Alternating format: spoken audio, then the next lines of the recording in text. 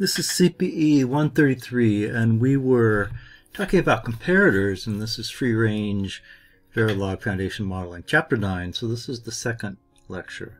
So the first part we were talking about just you know comparators, comparators and important issues, but those comparators were inherently unsigned and we actually need kind of the flexibility to work with signed and unsigned numbers.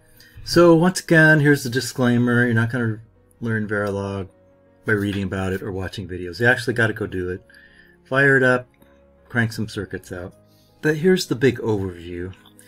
We're just we're designing hardware. Uh, essentially, we're going to write some models and have some software generate some real hardware from it, like such as the synthesizer.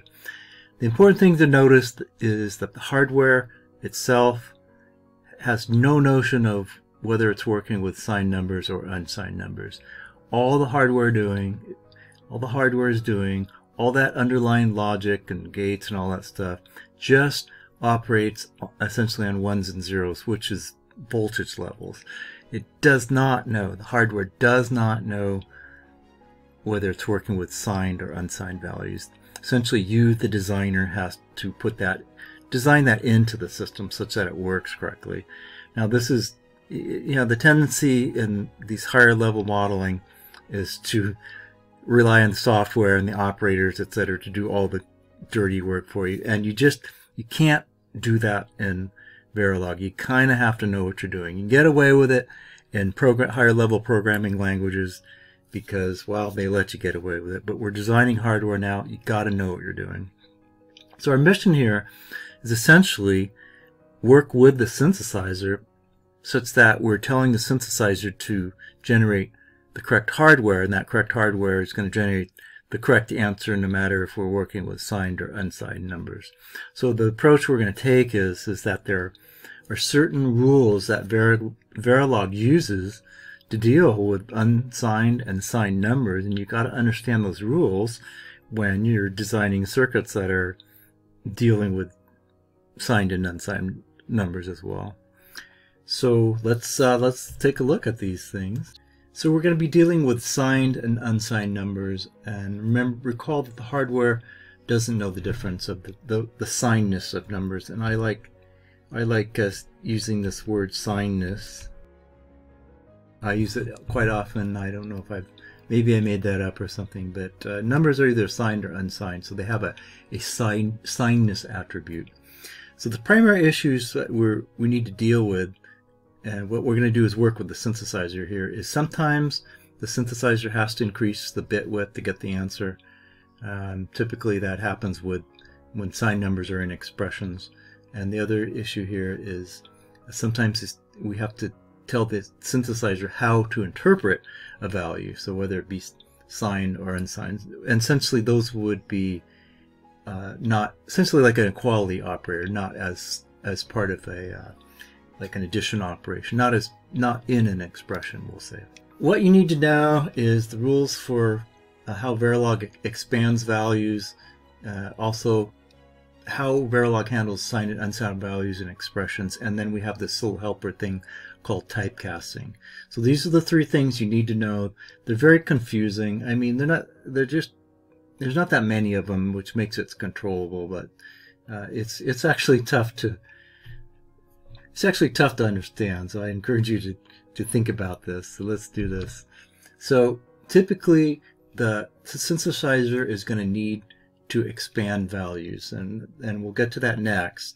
So the way it expands values is it is it adds bits to the left-hand side of the value. So if you have a 10-bit value and you add four bits to it, it's going to be added on the left side, not the right side. So the way it adds these values are uh, according to the signedness of that number. So if, if you're if that number is a signed number, it's going to sign extend that number to get those four values, which essentially means to get those extra values, it's going to replicate the sign bit. So if you're dealing with unsigned numbers, it's going to zero extend it, which means it's just going to take those extra bits and make them zero. So these are hard, hard, fast rules in Verilog. It's just to, when you have to add extra bits, it sign it, it it adds those extra bits based on the signness of the number.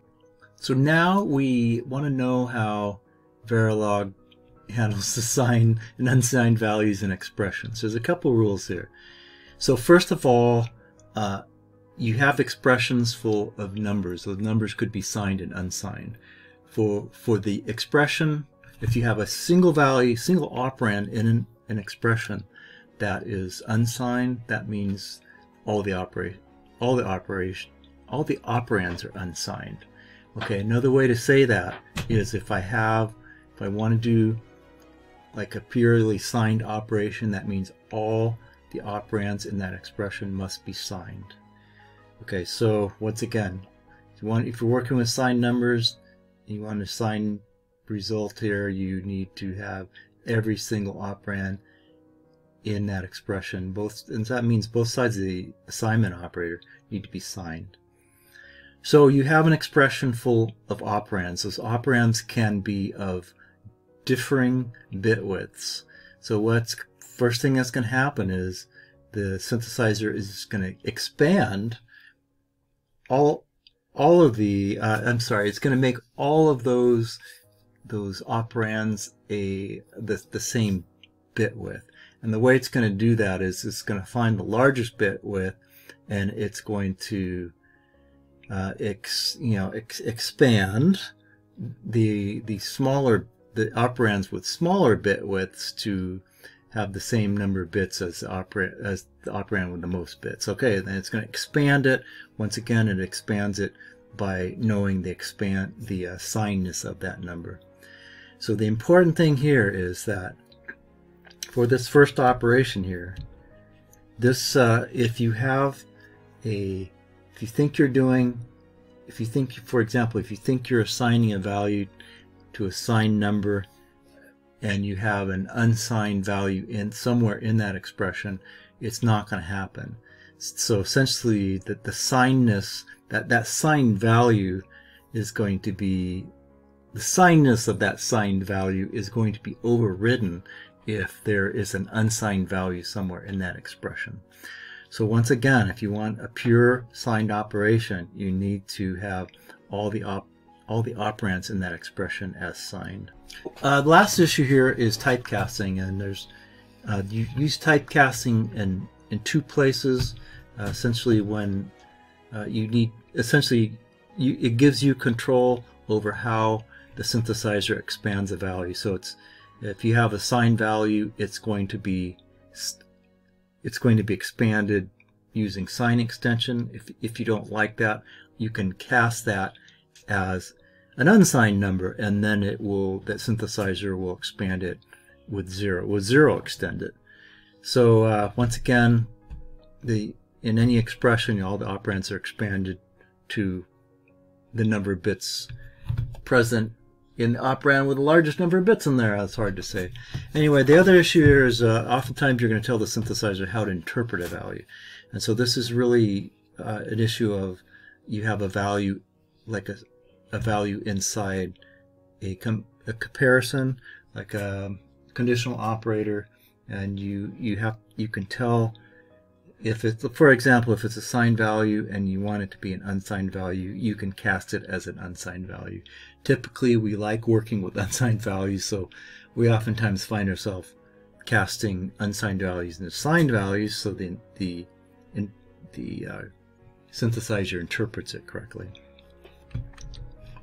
so there's two ways to make uh, a value signed or unsigned in Verilog. Number one, you can declare it as a signed number.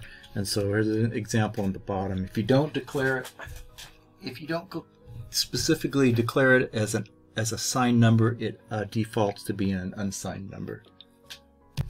And of course, the other control you have over signed and signed numbers is is to uh, typecast it.